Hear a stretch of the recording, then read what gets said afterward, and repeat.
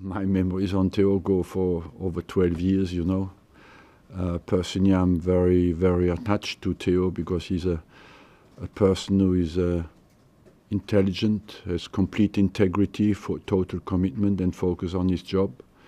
And uh, I remember he arrived here at the age of 16 and went to the World Cup straight away. And uh, of course, he scored important goals when you look back in big games.